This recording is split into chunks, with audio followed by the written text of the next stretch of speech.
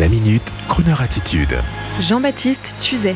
La déclaration censurée de Fabrice Lucchini à propos de Madame Hidalgo.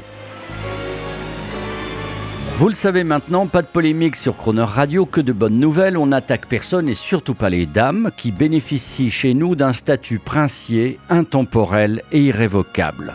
Par contre, en bon citoyen, je me dois de faire l'écho des paroles censurées. C'est ainsi que la récente déclaration de Fabrice Lucchini, truculente comme d'habitude à propos de Madame Hidalgo, ayant été aussitôt retirée de la presse, je me dois de vous la relater telle qu'elle.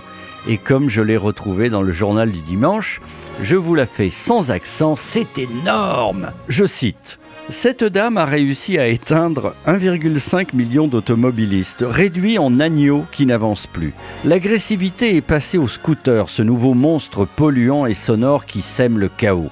J'en suis. Sans compter la trottinette et le vélo. Le summum du danger, je vis dans le 18e, c'est d'une saleté sublime, comme une ville du Moyen-Orient. Roland Barthes écrivait Je n'aime une ville que quand elle est habitable. Madame Hidalgo a réussi à faire de Paris une ville qui n'est absolument plus habitable pour n'être plus que visitable. Mais elle va être réélue car ça plaît aux bobos.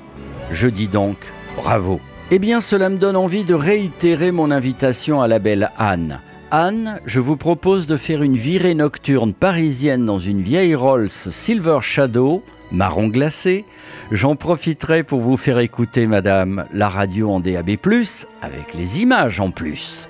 On partira de l'hôtel de ville seulement à 23h, car avant, ça ne circule pas. Moi, je suis, je trouve que tout est bon. Tout est bon. C'est simplement une époque qui finira dans la canaille.